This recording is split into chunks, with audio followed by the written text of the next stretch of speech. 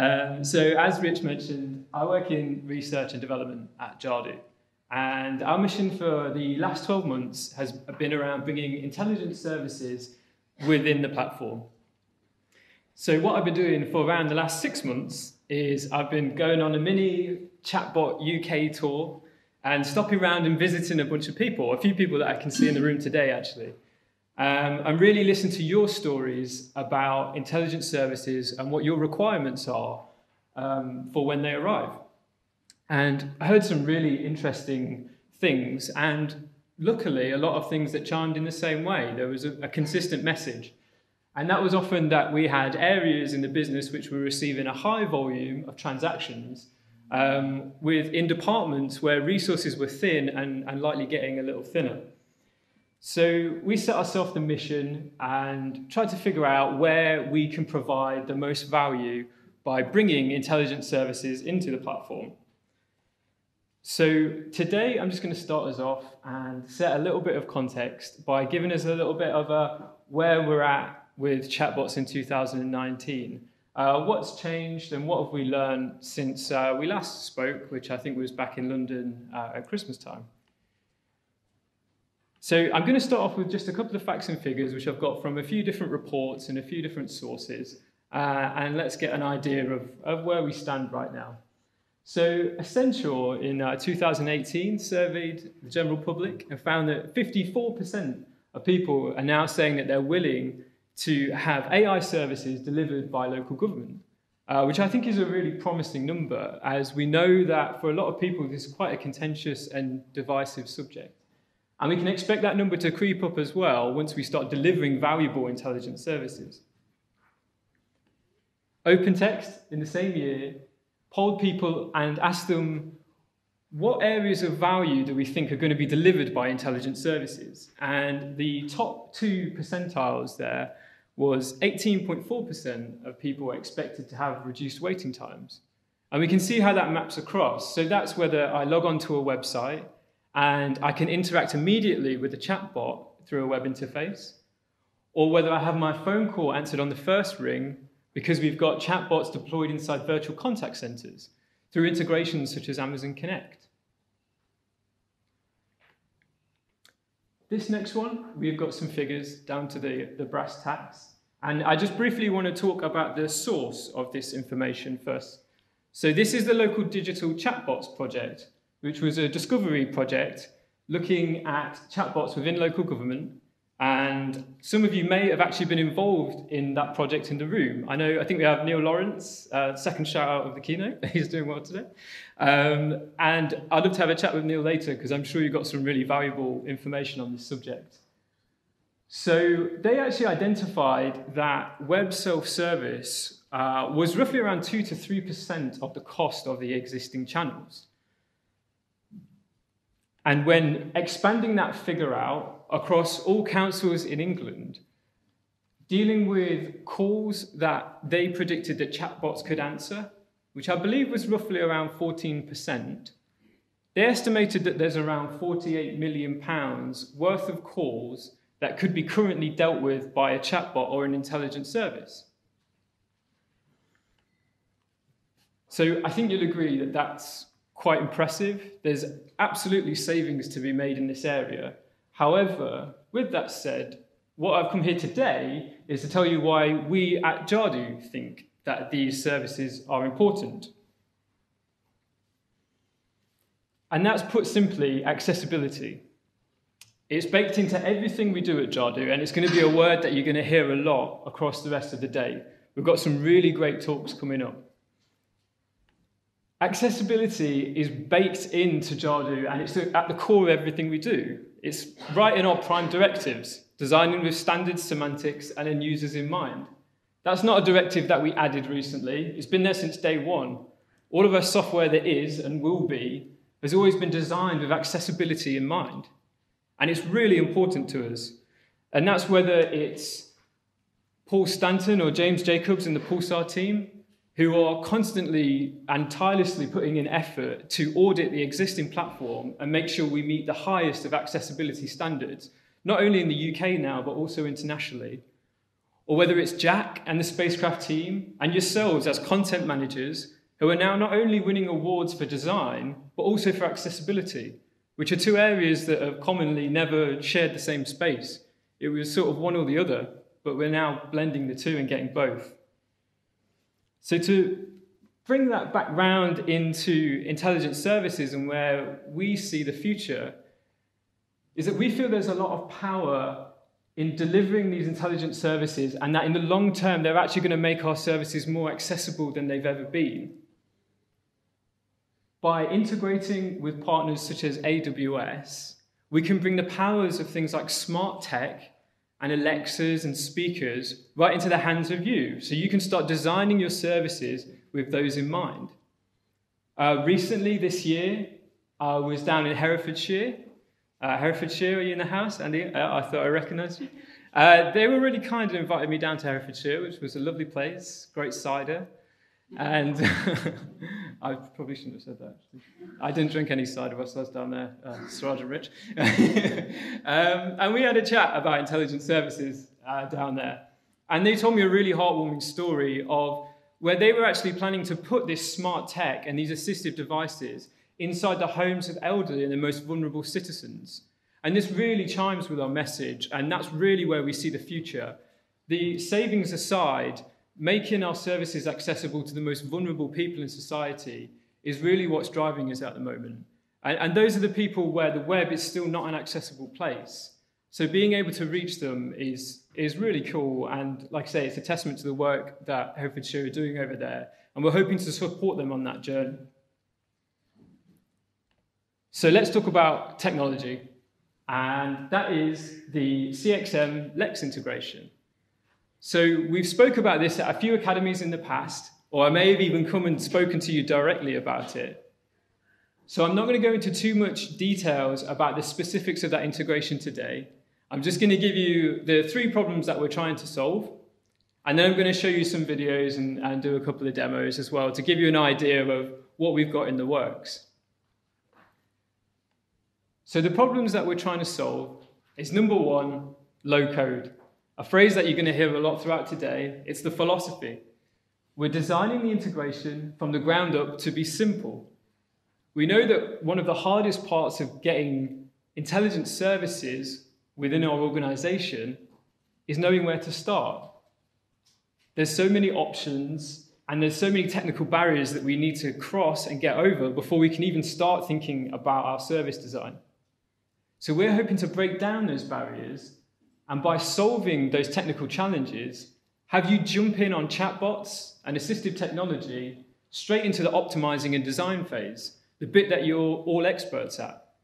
And we'll take care of the technical details to make sure that we don't need any developer resource and we don't have to write any code, unless we want to, to make these things work. The second, contextual training data.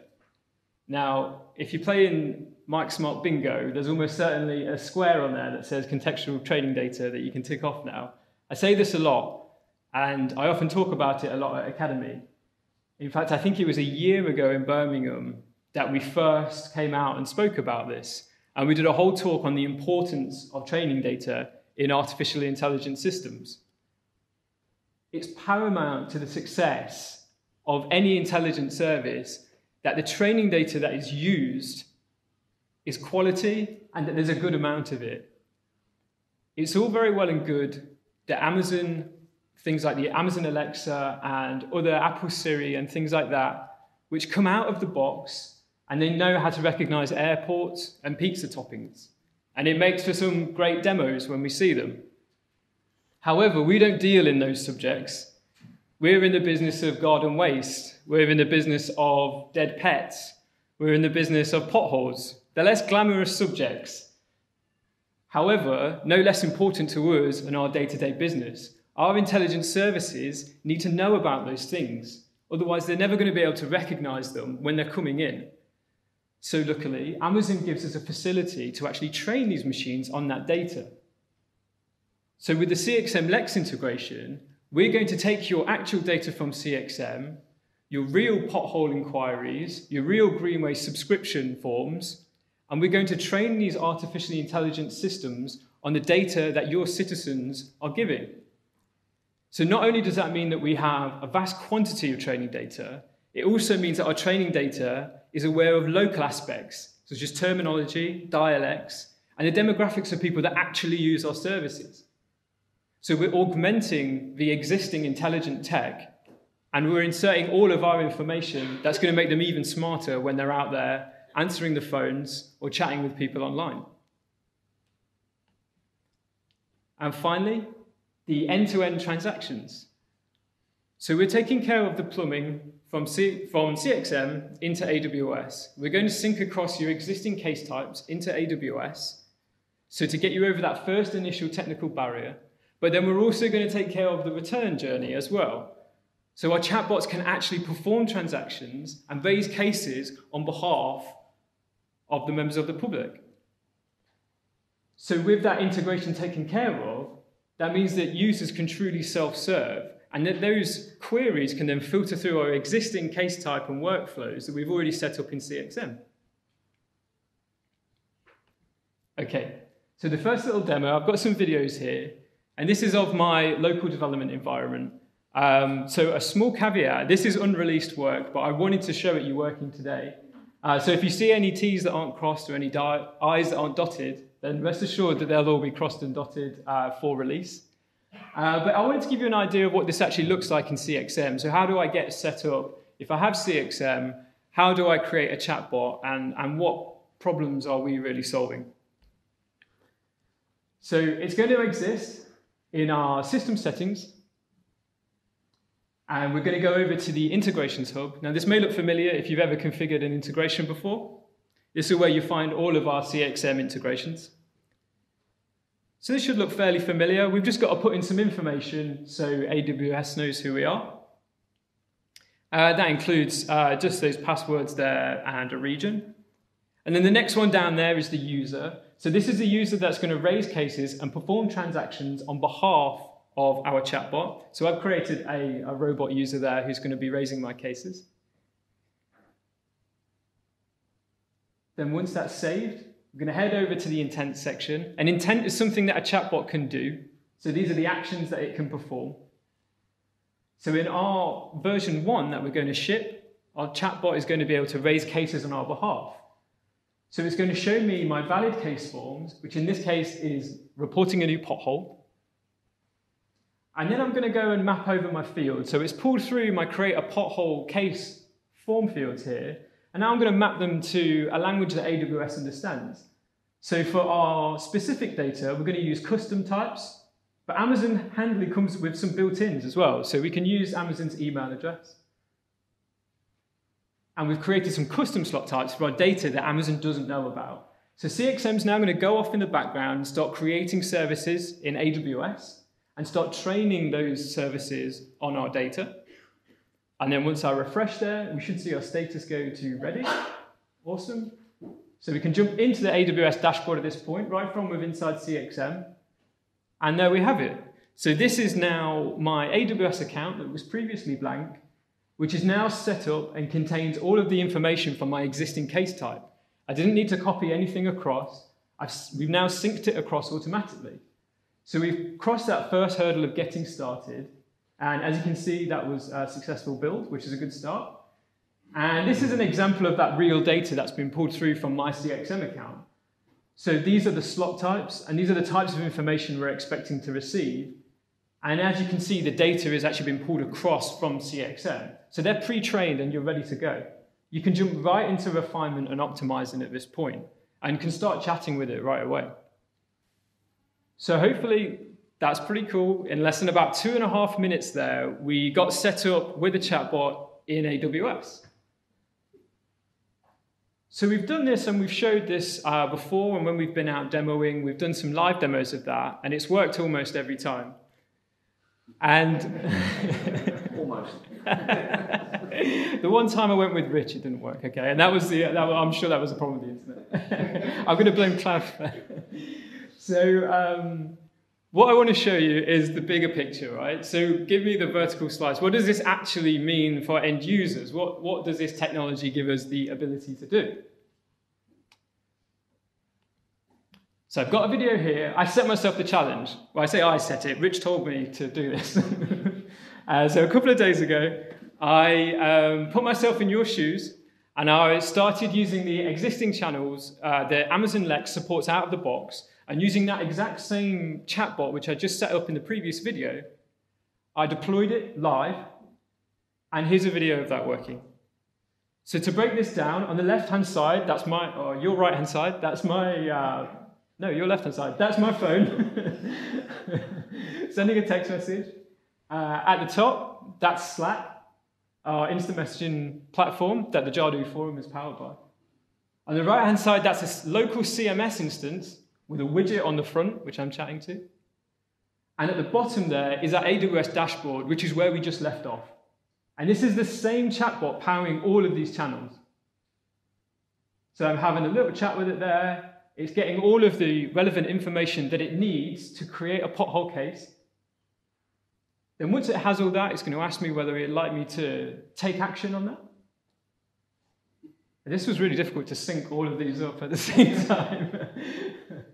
So once it's happy, it's going to raise a case, it's going to give me my reference, and it's also going to give me a link through to CXM so I can go and check it out. So as I go through to all of these different links on all of my various channels, I get taken right into CXM, and my robot user has set up a CXM case. So, with using all of these different channels without any human interaction, I managed to raise a case on CXM through a channel that already existed, that I already had. And so, to break those down, that was raising cases with instant messages, which is powered by Lex and Slack, as I mentioned, which the Jadu Customer Forum is currently powered by. Raising a case through conversation on a CMS page using a widget. That widget actually supports uh, voice as well. You should see a little microphone on there. I can speak to that widget as well as chat with it. And that's powered by Lex and the Jadu CMS. And one that really excited me was raising a case by SMS. And that's powered by Lex and Twilio. These are all built in to Lex's platform. And aside from the CMS widget, which I had to build in around a day, these took me less than half an hour to get set up with. It was just a case of creating accounts in these service providers and just linking the details to my Lex account. So without even having the internet, I was able to raise a case about a pothole on a channel that has existed for me ever since I had a phone so I hope that's looking pretty exciting. And this power really is going to be within your CXM accounts really soon. So we're looking towards the end of the year to release version one, which is going to have you creating cases using chatbots. And in line with that, we've got a webinar. Uh, just in case you wanted to hear more from me about this subject, we're going to give you the opportunity, and I'm going to host a webinar uh, which we're penciling in for October at the minute. Uh, so do sign up. I'm sure we'll be tweeting that link. Uh, but you can sign up from that today. Get yourself a place. And we're going to dive deeper because at that point, it should already be in your CXM accounts or will certainly be imminent. So we can go down into more of the details of this integration and how your teams can get set up in starting to design these services. Okay that's all me done. So uh, thank you very much. Uh, you guys have been great. If anyone's got any questions, uh, I'm more than happy to field them now if we've got some time. Thank you very much. Thank you very Cheers, much, Thank you.